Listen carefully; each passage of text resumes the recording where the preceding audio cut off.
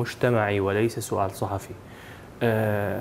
كثير من العراقيين يصابون بأمراض القلب يعني أول سؤال يسأله عندك مريض مرض قلبي أو كذا أو جلطة أو إيش وهاي فهذه من من من بديهيات المواطن العراقي عنده قلب.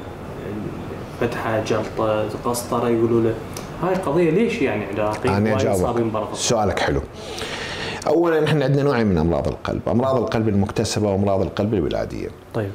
أمراض القلب الولادية أصلا في تزايد مستمر والسبب الأساسي به هو العامل الوراثي وإحنا عندنا زواج الاقارب بشكل جدا جدا كبير.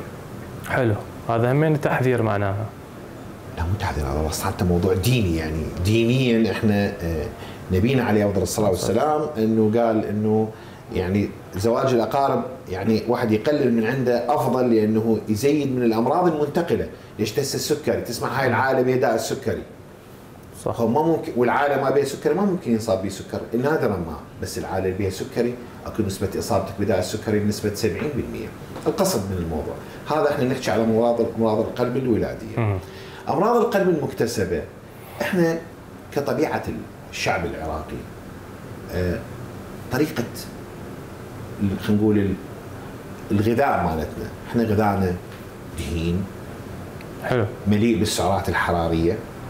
طيب. اعتمادنا على الخبز والتمن. نشويات بالضبط النشويات اللي هي ذات سعرات حرارية عالية. هاي تزيد لك من هاي الأمراض بالإضافة للعامل الوراثي. يعني أنت هسه من تقرأ إحنا عندنا بالقوانين الطبية مثلا كل سنة يطلع عندنا guideline يقول لك مثلا أكثر أسباب أمراض قصور الشرايين التاجية هي مثلا السكري الضغط التدخين الدهون.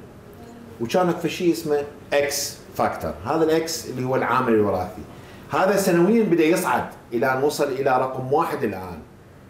فأنت ما تلقي شخص والده توفى بسبب قصور الشرايين التاجية هو ما راح يصاب بقصور الشرايين التاجية. بس راح تقول لي ليش ده يزيد عندنا بالعراقيين؟ هذا السؤال بس حنوه لك عليه ويا ريت المشاهد الكريم يفهم ماذا أقصد. إحنا كعراقيين طيب. ما نراجع الطبيب إلا نتمرض. أحسنت صح. وهذا أكبر خطأ. صح. إحنا ما عندنا ثقافة ال check up إنه اني أروح للدكتور سلام سلام عليكم دكتور. أنا جاي دا تشيك أنا عمري 50 أنا عمري 45 دكتور أنا مصاب بالسكري. دكتور أنا عندي ضغط. بس ابدا اشيك ابدا أشوف قلبي زين لو مو زين.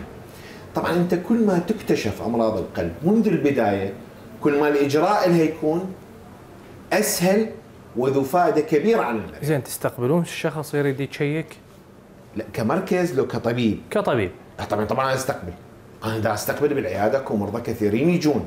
مم. يعني أنا أقول لك بالأسبوع يجوني فد ثلاثة أربعة هم ليس مرضى قلب دكتور السلام عليكم. أنا جيت دا أنا والدتي مصابة.